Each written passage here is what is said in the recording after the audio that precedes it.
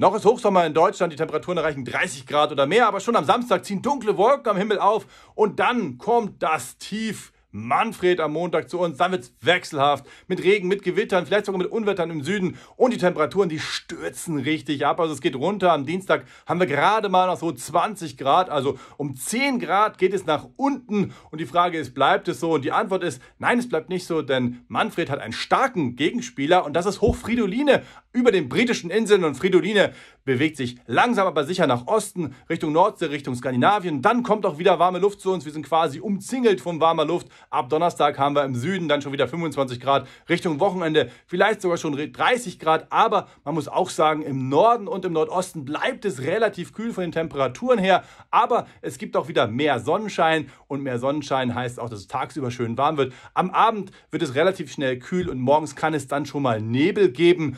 Aber das Wetter wird über die Woche gesehen besser. Also die Woche fängt kühl und wechselhaft an und steigert sich dann im Laufe der Zeit. Also der Sommer ist noch nicht vorbei, er kommt sozusagen wieder. Die besten Vorhersagen für den Ort finden Sie auf weather.com.